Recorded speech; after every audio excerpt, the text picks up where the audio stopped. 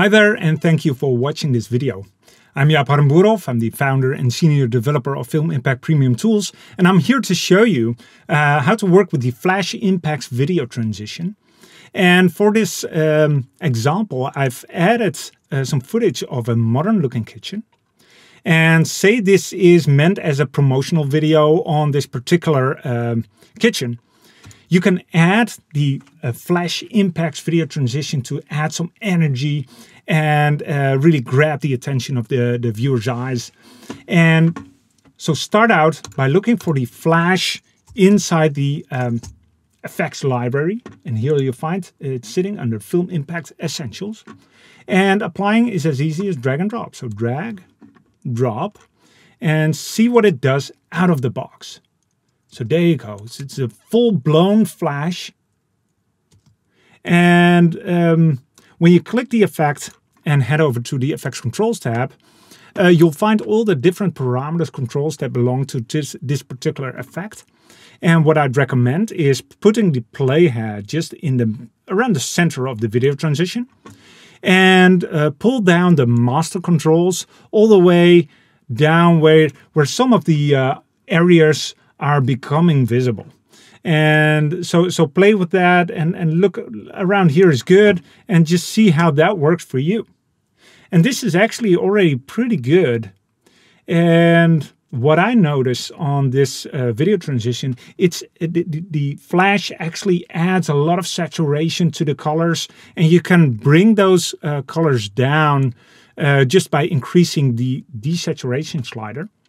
And see how that works, and just it will bring down the intensity of the colors, right?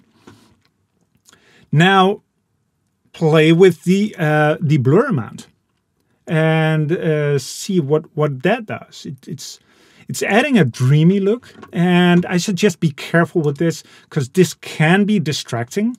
Uh, so be careful with that. I'm gonna lower it to around 10. That will be good. Yeah, 11. That's that's perfect. Yeah, looks good.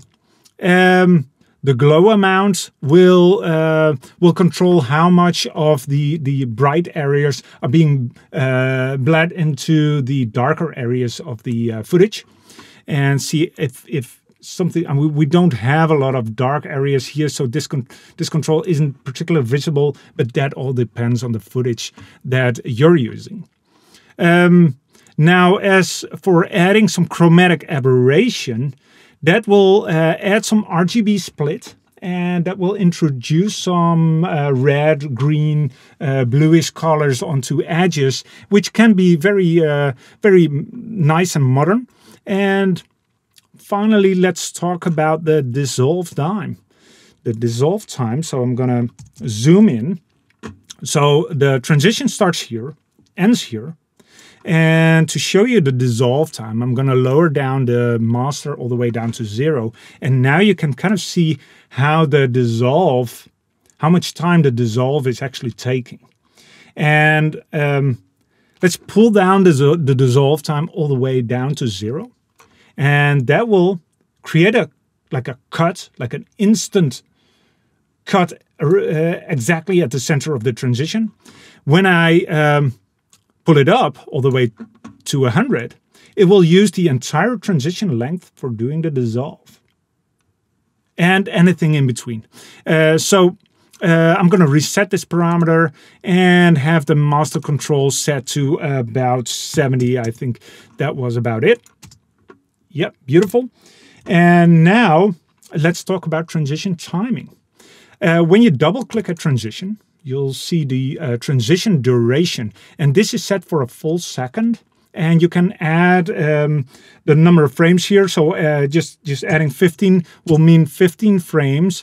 And this is 25 frames per second sequence.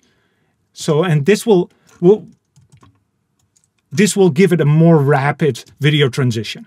And um, uh, think about the rhythm of your video and depending on the kind of music you may be using on this video, uh, it actually works to to to play with the um, the timing and even even pulling it down to like eight frames can be very effective. I mean, depending on this is a very like a blink of an eye flash, and this can be very energetic for uh, for your video. Um, but hey, that depends on the on the, the rhythm of your your video. I'm um, I'm pulling it back to 18 frames. See how that works. Yep.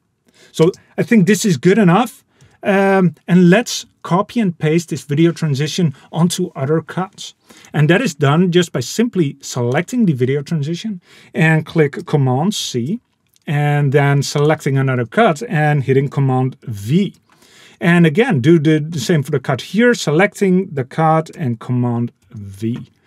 And now we're ready to see the final result. And you can see this is working very effective on promotional videos. And I hope you like this video. Please like, subscribe, and I'll see you next time. Cheers.